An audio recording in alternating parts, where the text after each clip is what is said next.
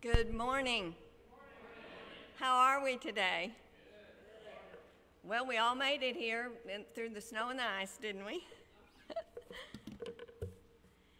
well, we want to welcome you today to our worship. Uh, my name is Trish Miller, and I'm a lay servant of St. Paul United Methodist Church, and I'm glad you're able to join with us here in person and online. And uh, you may even be in the parking lot I hope not because it's cold. I hope you're inside. Today we're excited to have Reverend Treva Mills here. She's going to be leading worship for us today. And we just give thanks that we have this day and we can be together and we can worship together as one body. Let us pray. Father, we thank you for letting us be here today. And as we begin our service, let your Holy Spirit fill this place. In Jesus' name we pray. Amen. Please stand as you are able as we sing.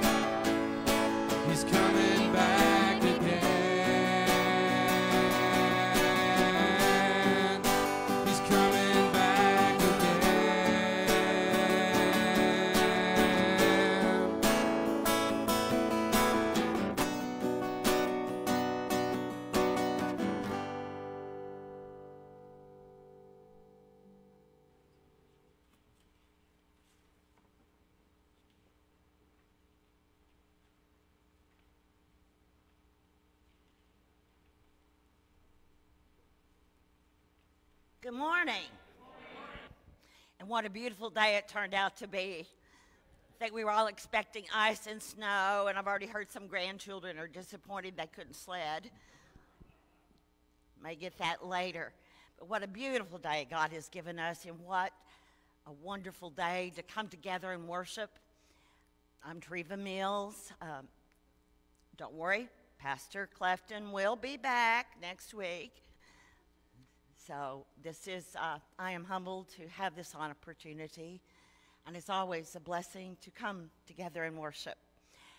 We welcome you if you're here with us today, or as Trish said, wherever you may be. If there are guests here today, we certainly welcome you. Um, there is a coffee mug to give you, to welcome you, to remind us of you. Uh, you can, we welcome you if you're online. If you'd like to go online and sign our attendance, you may do that.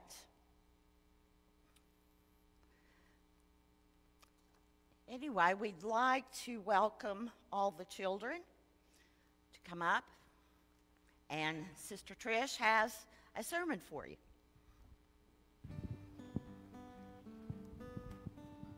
My goodness. Oh, we have any other children like to come up? Wow. I had little boys at one time, but they grew up. Hi. Y'all doing okay today? Are? Would you do me a favor and come over here? I want everybody to see you. Could you sit right there? Everybody see these nice looking young men? Aren't we proud of them? Yes. I have some things today.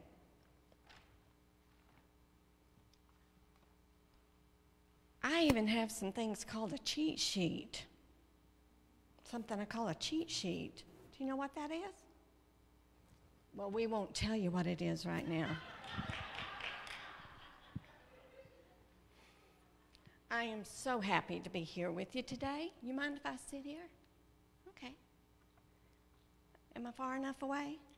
Okay. I want you to be comfortable. Let me get my little cheat sheet here. One thing I want to show you is three books. Hmm. You know what this one is? It's what? Bible. Bible. Did y'all hear that? It's a Bible. Hmm. Who do you think wrote that book? Oh, he said God. What kind of answer? Do y'all like that answer? Amen? Inspired by God, yes. Well, several people wrote that book because there's a lot of books in that Bible. And it's filled with stories. Have y'all been do- doing stories with Miss Amy and in class and at home?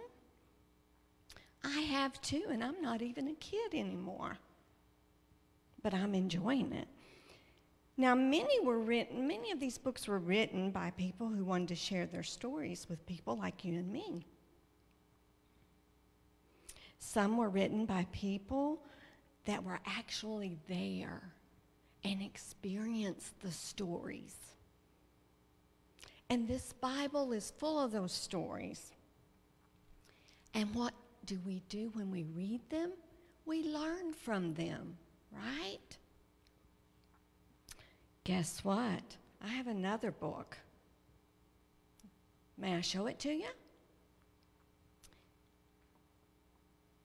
Is it a pretty book? It has kids on it, doesn't it? You want me to tell you what the title is? Come over and tell them what the title is. Somewhere among the stars. Yes, somewhere among the stars and snowflakes. And you see, there's a lot of children's faces on there. And these faces are children uh, from everywhere around the world. You know who wrote this book? I did. And guess who inspired this? This book was inspired by some things that happened in my life. But God gave me the words to say and put in this book. Now, I have another book. Let me show the audience so they can see. Can you see it? Okay. It's called Love You Forever. And I want to tell you just a little tiny bit about this one. It's about this woman who had a little boy. And she loved that little boy so much. And she would sing to that little boy. Now, guess what happened to that little boy? He grew up. Can you imagine that? That little boy grew up. That's what happens. But she loved him anyway, forever. Forever. And what I like the best about this story is when that little boy grew up and he became a man, he told his mother he would love him, love, love her forever.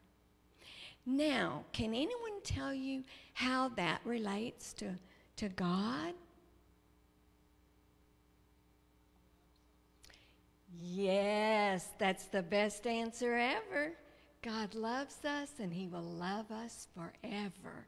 So that's something that we want to remember and, and keep in our hearts. All three of these books, I believe God spoke to the people who wrote them so they could share their stories. Don't you? I do too. So just remember no matter what happens in life, that God will always love you. I brought a little gift today, and I'm going to actually give it to Miss Amy. But what it is, um, there are little journals, and there's stickers in there, and pins in there. And what I would like for you to do is start your story. Even if you don't write, you can draw pictures and you can use stickers. But you can start writing your story to share with people out there in the world, just like the people that wrote these books. You have any questions? May we pray for you? All right, let's bow our heads. Dear God, we thank you so much for these children and all of the children in the world. We know they are precious to you. May we, as your church and their church family, show them our love by encouraging them and supporting them as they live their journey and as they live out their lives. Lead and guide and inspire them as they journey and as they learn more about you and the amazing love you will always have for them. In Jesus' name we pray. Amen. And thank you all so much for coming up. And if you will grab that bag and give to, to Miss Amy, she will distribute those later. And we thank you so much for coming. And thank you all.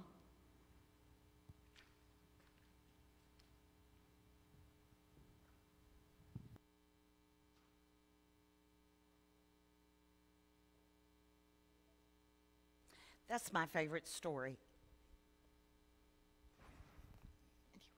We come to our time of our worship through giving. We have many ways you can give. Uh, you may give online if you wish, or contact the church office. But this is one of the many ways that we truly worship God. We know that everything we have comes from God. And we come to this time to give back our Offerings are used for outreach within our community and the world. This time, if the ushers will come forward, please.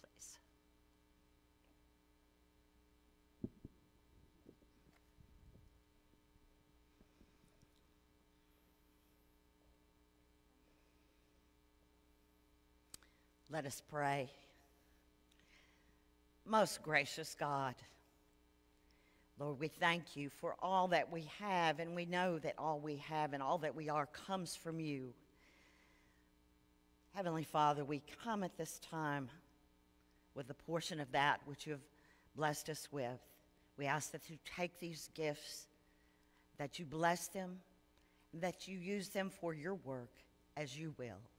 In Christ's name. Amen.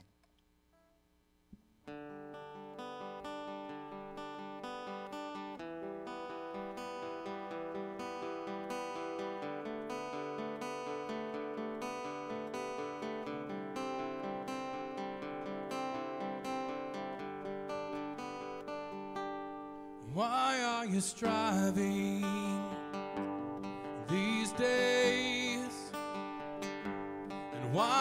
you trying to earn grace?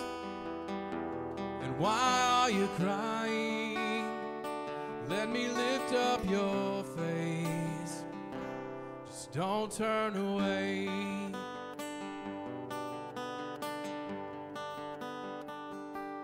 And why are you looking?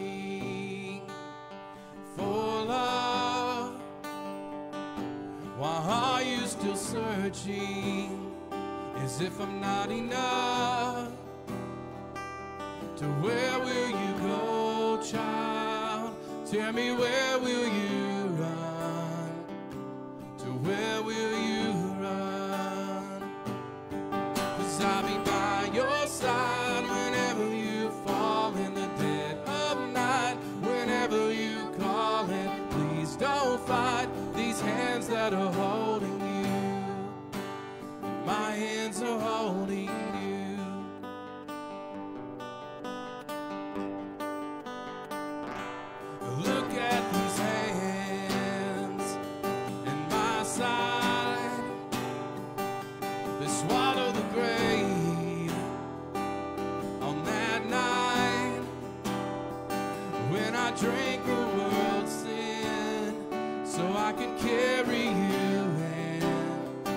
give you life.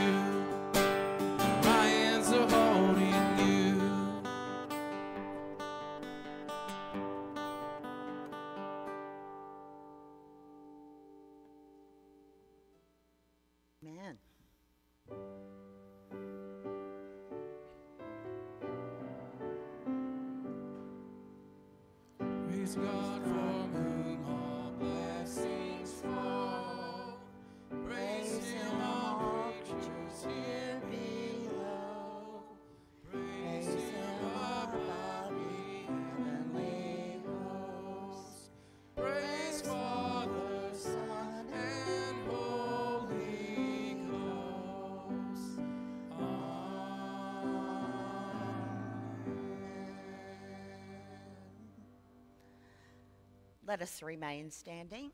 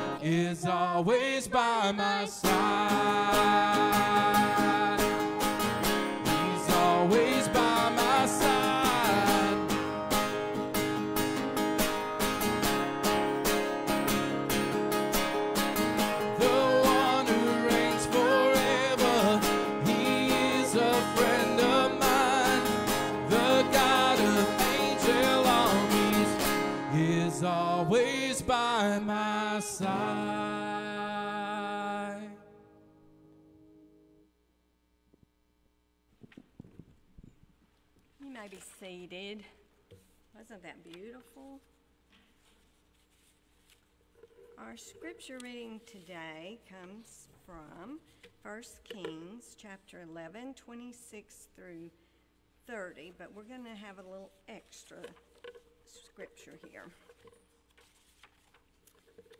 And I will try not to mess up the names too bad.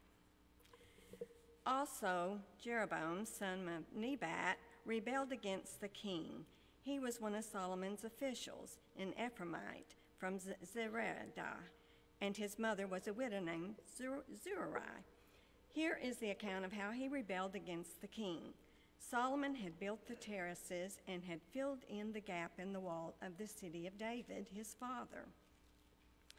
Now Jeroboam was a man of standing, and when Solomon saw how well the young man did his work, he put him in charge of the whole labor force of the tribes of Joseph.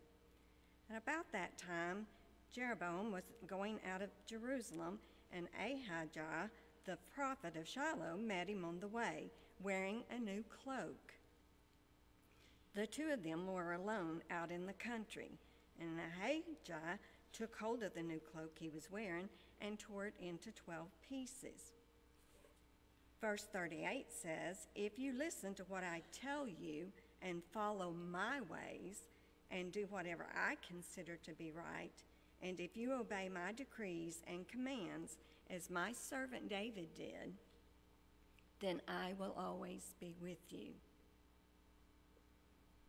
The word of God for us, the people of God.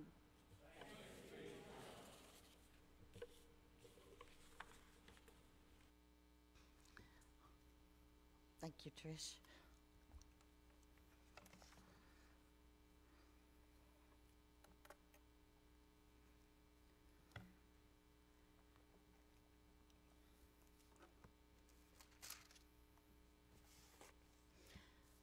I want to ask you a question today, and you're welcome to raise your hand. Answer it out loud if you want. How many of us like to do things our way? All right, thank you. Thank you. Okay, when faced with a decision or a task, do we go, you know what? My way is the best way. Do we not think that? I'm going to do it my way. Yeah, we'll do it my way. Does that always work for you? Do we ever stop and give consideration that another person's idea might be better? We always do that, right? Might that person actually have a better way of doing something? Okay, now y'all tell the truth, okay? Even if we've done the task over and over in our lives, is maybe there not room for improvement through a different way? Or something new to be learned about it? So, what is the best way? You know, the answer is very simple. And I could end the sermon right now and let all of you go home, but we're not going to do that. It's very simple it's God's way. And as we've studied through the story, haven't we seen time and time and time? If they had just done it God's way, it may have been differently. So, do we stop and ask, is my way God's way?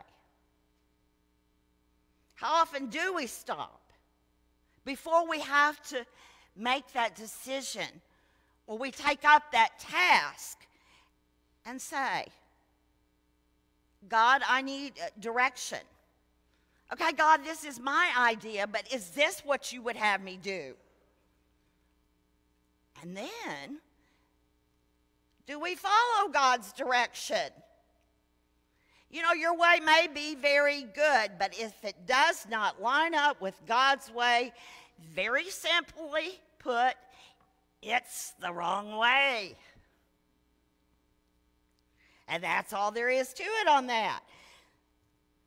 as we study throughout the Old Testament, and we saw these people over and over making decisions, we have seen God come to them in visions, speak directly through, to them through prophets, everything else. And we have seen the dire consequences of what happens when we do not follow God's direction. Is it any different today? Is it any different with each one of us? Pastor Clefton brought up one of the Proverbs last week, and I think this is something you can use right then when you are taking up a task or you're needing to make that decision or you're needing to know what way is the right way. And it says, Trust in the Lord. What a concept.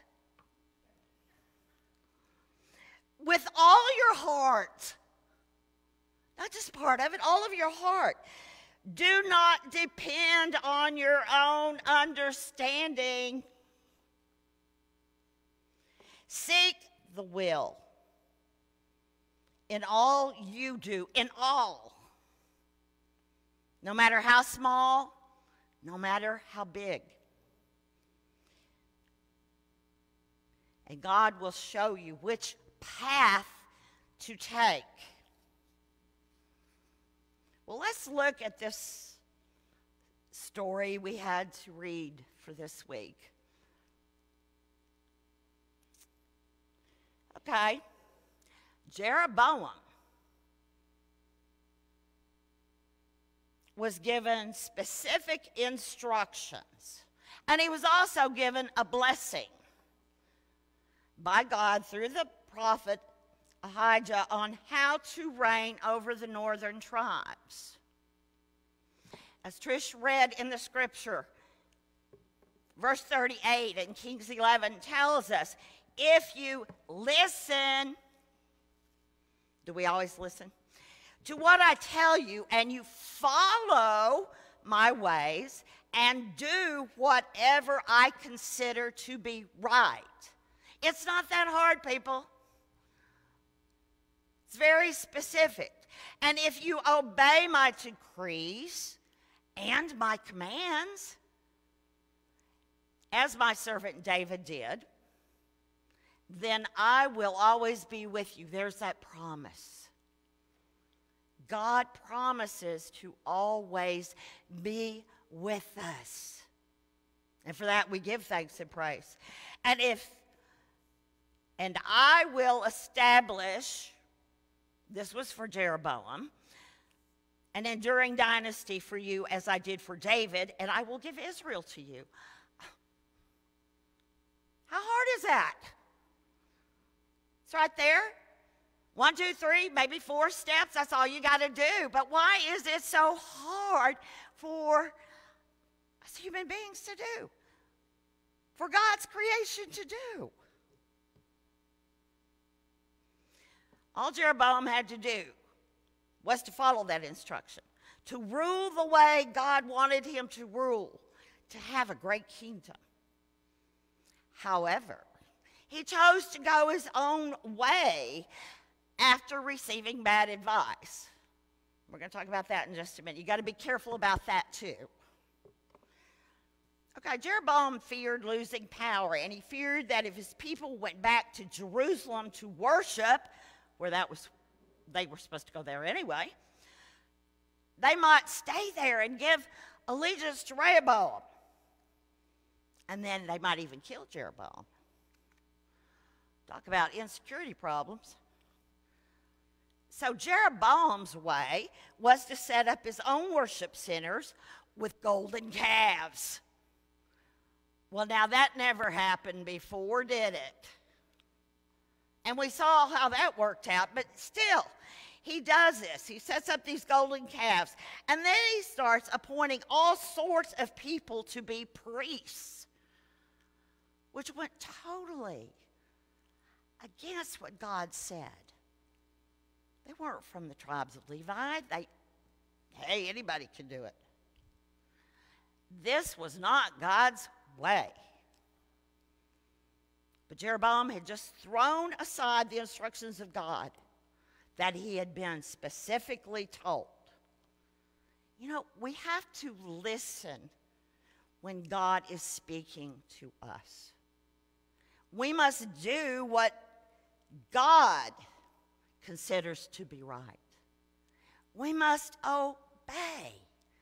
That's what the Word tells us. That's what God tells us throughout the Old Testament, the New Testament. We are told be in obedience to God.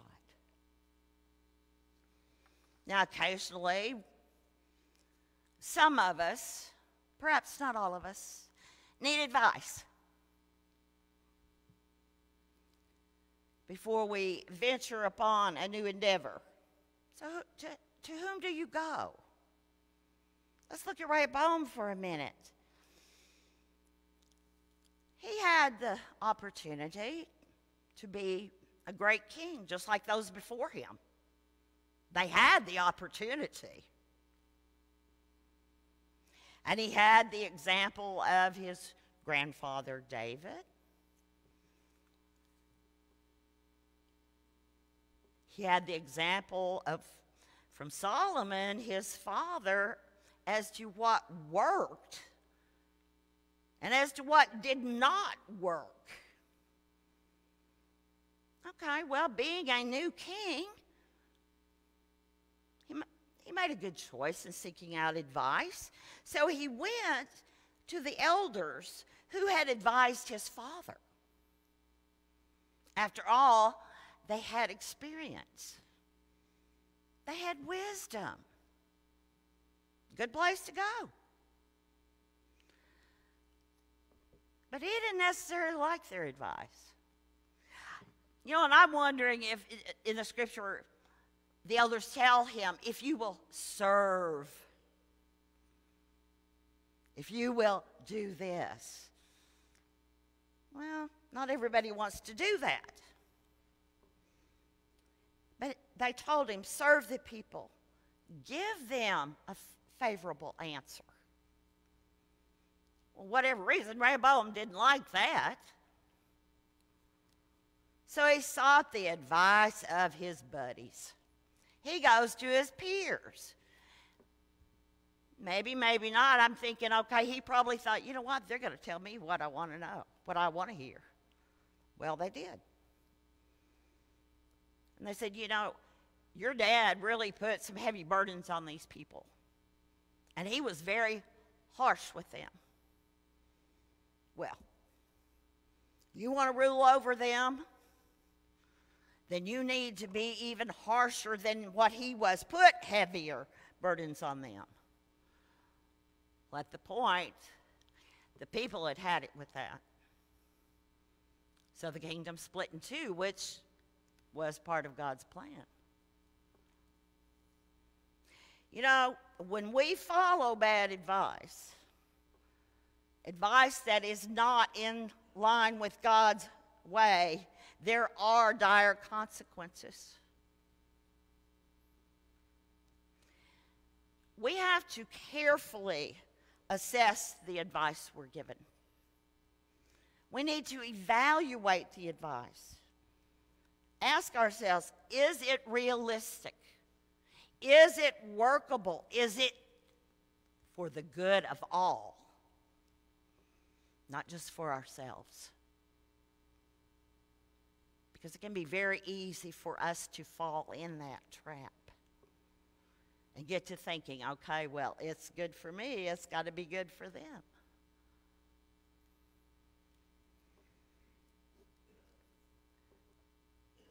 And we have to remember if it is not in line with biblical principles and consistent with God's standards, hmm, it's not good advice. Now, most of the kings who followed Rehoboam and Jeroboam did evil, as it states over and over in Scripture, and as we read in our book the story. But there were a few who were considered good kings. One of them was Asa. And Asa began to rule over Judah, the southern kingdom, in the year of Jeroboam's reign in Israel, the northern kingdom. And in 1 Kings 15, verse 9, we read that Asa did what was pleasing in the Lord's sight as his ancestor David had done. And Asa's heart remained completely faithful to the Lord through light, throughout his life.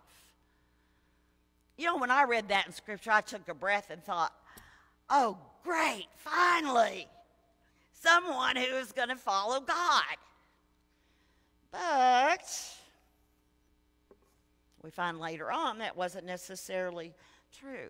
However, Asa went in and cleaned the entire land of Judah of its idols. Okay, that was a great thing.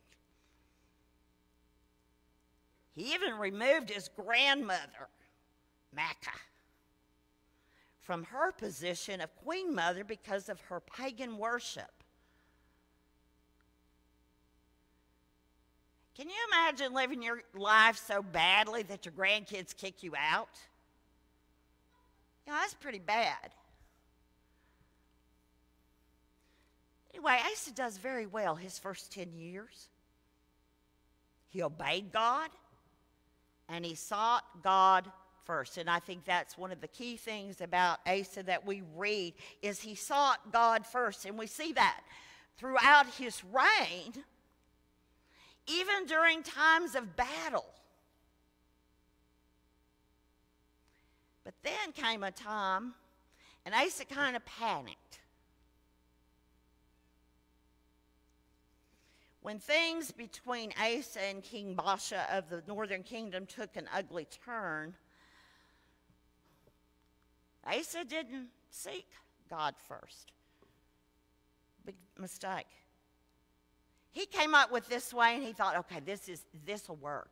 It's quick, it'll work, we'll get this over with. I know what I'm doing. I don't have to ask God. I'll talk to him later.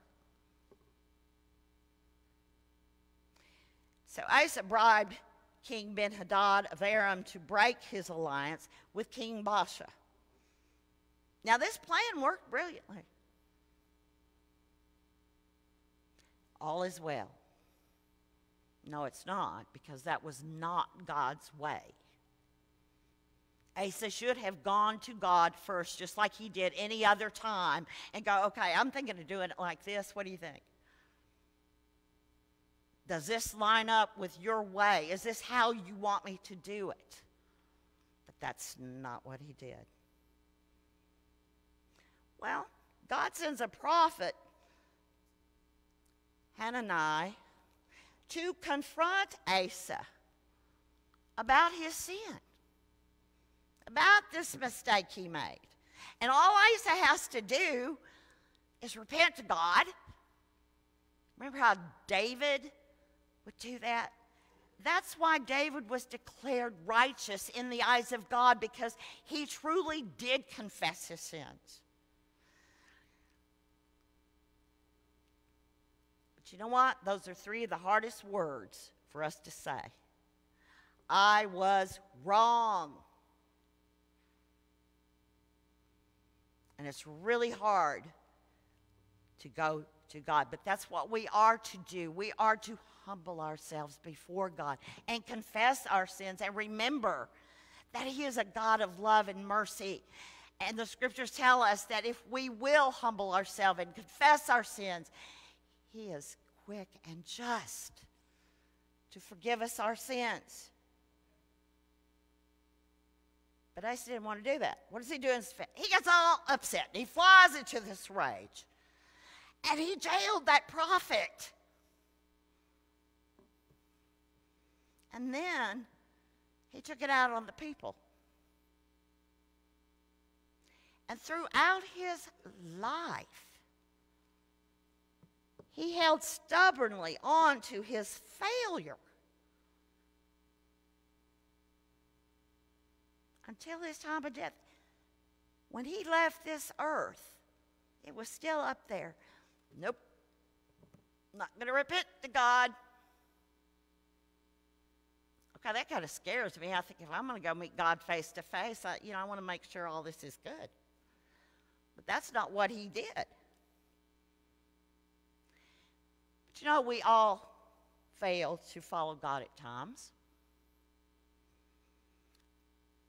But there again, if we truly humble ourselves, that's not necessarily something we like to do, and truly repent and confess, God is a God of mercy, and He does forgive us.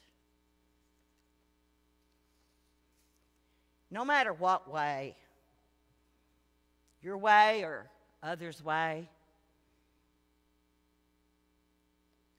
if it's not God's way, it's the wrong way because God's way is always the right way.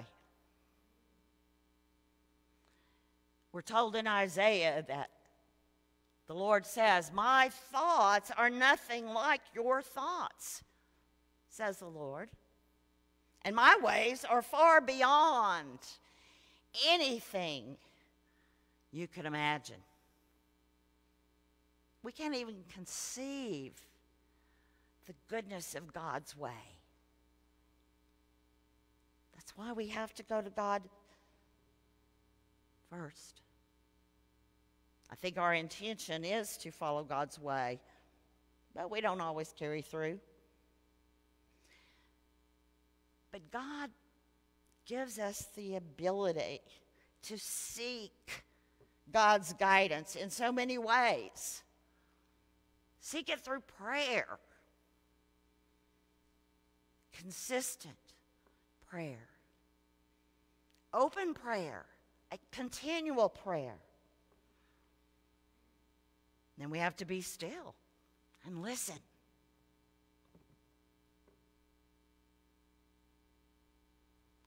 Scripture also tells us to seek the Lord with all your heart. Teach me how to live, O Lord. Lead me along the right path. Wait patiently for the Lord. Do you ever go in and, okay, Lord, got to do this. What would you have me do? You walk to the other room. Well, you haven't answered yet, so I guess I'll go ahead and do it my way. You have to be patient.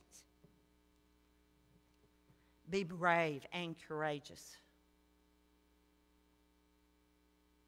There are decisions in life we don't like to have to make. And those are times we definitely need to rely on God.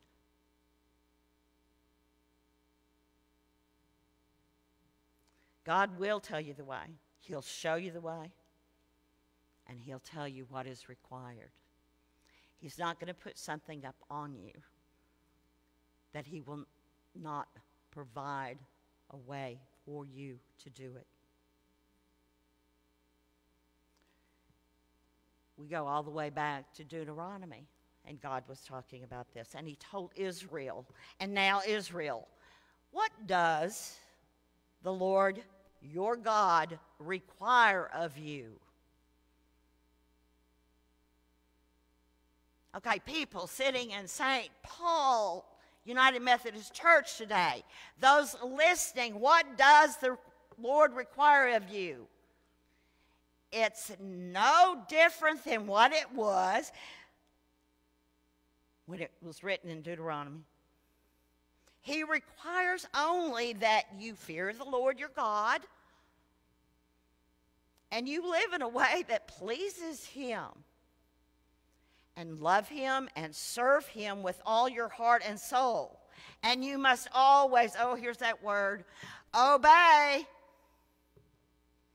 the Lord's commands and decrees that I am giving you today for your, for your own good.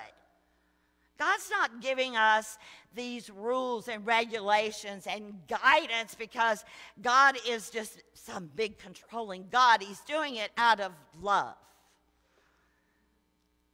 Because He loves you, each and every one of us. Each and every person in the world. That's a whole different sermon.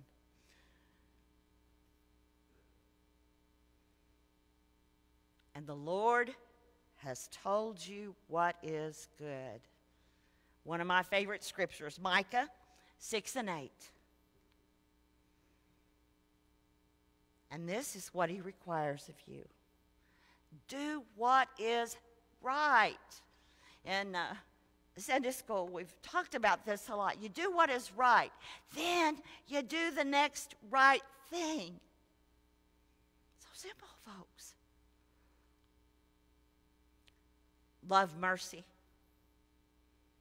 and walk humbly with your God. Let us pray. Loving, merciful God, we thank you that you are our God, our heavenly parent, that we thank you for your love. We thank you that you are a God of mercy. Oh my, what mercy. We thank you that you give us direction, that you show us the way. And Lord, we ask, help us, Lord, to open up our hearts and minds and listen for your direction and to follow in your way, Lord. And in Jesus' name, we give you all the glory and the praise that is yours. Amen.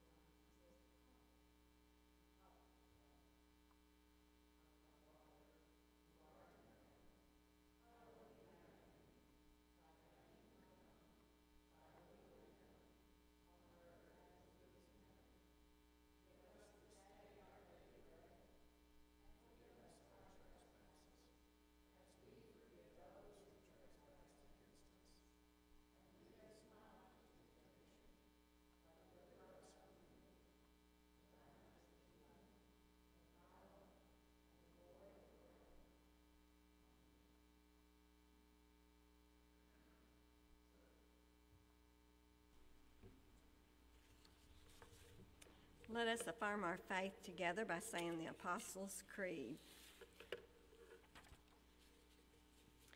I believe in God the Father Almighty, maker of heaven and earth, and in Jesus Christ, his only Son, our Lord, who was conceived by the Holy Spirit, born of the Virgin Mary, suffered under Pontius Pilate, was crucified, dead, and buried. The third day he rose from the dead. He ascended into heaven and sitteth at the right hand of God the Father Almighty. From thence he shall come to judge the quick and the dead. I believe in the Holy Spirit, the Holy Catholic Church, the communion of saints, the forgiveness of sins, the resurrection of the body, and the life everlasting. Amen. You may be seated. We'd like to thank all of you for joining us today in worship, and I want to especially thank Reverend Treva for leading us in worship today and for bringing the message. Uh, if you noticed in your flyer, you have some fellowship events. Be sure to go over them, look through them, see what you might be interested in doing or helping out with. Uh, you're also invited to celebrate Holy Communion. It has already been blessed, uh, which will be served in the chapel immediately following uh, our service. So be sure that, that you work together with us and with our church families. There's a lot of us that are going through um, many things, and we just, we just need to all join together as a family and love one another, pray for one another, and support one another. And that means part, partly that means um, being a part of uh, these activities and events that we have going on in our, our church. So let us gather together as we close our service.